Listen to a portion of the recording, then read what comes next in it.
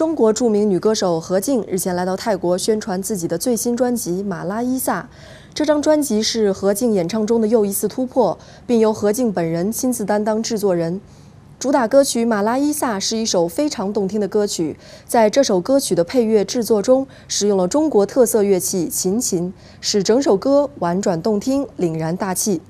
尽管刚刚与成龙大哥拍摄完《警察故事二零一三》，但是马年新年过后，何静要马上投入到新的工作。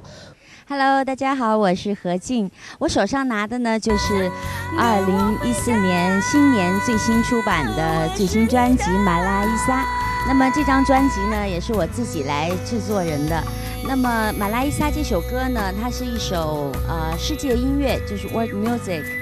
啊，那么整个歌曲呢，我没有唱歌词，啊，全部都是自语版。什么叫自语呢？那就是我想象的感觉，非常空灵的感觉，然后用我自己的语言。啊，哼唱出来的，所以呢，它是没有歌词的一个版本。那么还有一个版本呢，是有歌词的版本，那就是叫做呃以草原来命名的一首《马来西亚》。那么还有一首呢，里面的一首新歌叫做《带刺的玫瑰》。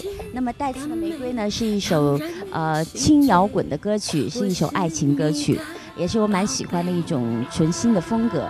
呃，里面还有一首 MV 呢，那是我和我的女儿一起来演唱的。我的女儿呢，今年是九岁。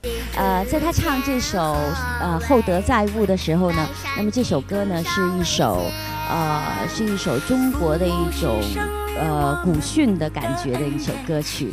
啊，我是呃看孔子的一些啊文章来编写的这首歌的歌词。啊，那现在这首歌呢，在我们中国的国内呢，有很多的学校都把它当做了校歌来演唱。希望你们能够喜欢何静的最新专辑《马拉伊萨》，谢谢。关于新年的计划，何静是这样说的。Hello，啊，我的新年计划呢是呃刚刚完成了和成龙大哥一起呃拍摄的《警察故事二零一三》，那么接下来的时间呢，我想在二零一四年呢能够完成两部呃电视剧的拍摄啊，还有电影的拍摄，呃具体的行程呢，我也希望能够今年呢完成一张我的最新专辑，希望你们能够支持何静，何静爱你们，谢谢。让我们共同期待何静的新作品。